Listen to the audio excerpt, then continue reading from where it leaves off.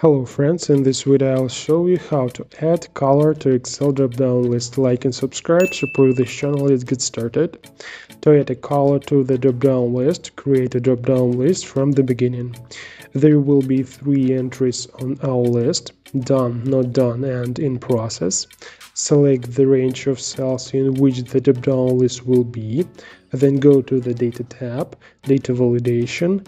In the window that opens, select Validation Criteria in the Allow field and it will be a list. Next, add the range of data that the list will consist of and click OK. The drop-down list has been created and now we need to add a color to each entry in the list. We do the following. We select the range again, click on conditional formatting, highlight cells rules and select equal to. In this window we type the entry that is presented in our list and set the color for it.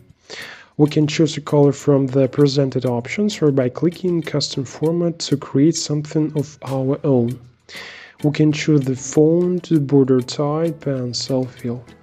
But for this example, we will choose the standard green color. Next, we do the same for the remaining entries in the list.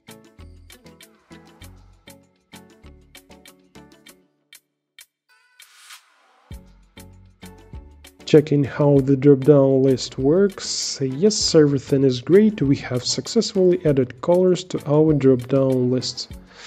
And to delete such a drop-down list, select the same data range, data tab, again data validation and change the validation criteria to any type and click OK.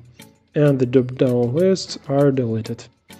Now we know a little more, thanks for watching.